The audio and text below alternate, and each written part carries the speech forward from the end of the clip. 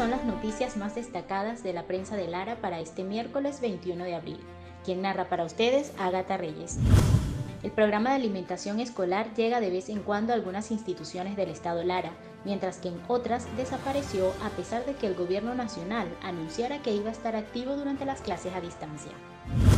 Usuarios de la zona norte de Barquisimeto califican como un completo caos el servicio de transporte público, debido a que las pocas unidades que circulan cobran tarifas que van desde los 400 mil bolívares hasta un dólar, mientras que quienes no pueden pagarlas optan por caminar.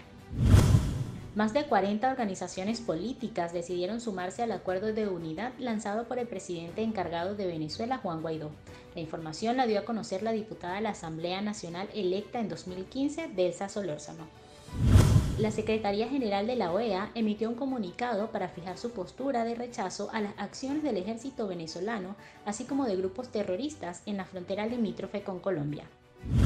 Jake Sullivan, asesor de seguridad nacional de la Casa Blanca, manifestó su preocupación por la situación de salud en Venezuela y pidió al gobierno de Nicolás Maduro que permita el pleno acceso de las organizaciones humanitarias. Puede ampliar estas y otras informaciones visitando nuestra página web www.laprensalara.com.be o en nuestra edición digital de mañana jueves 22 de abril.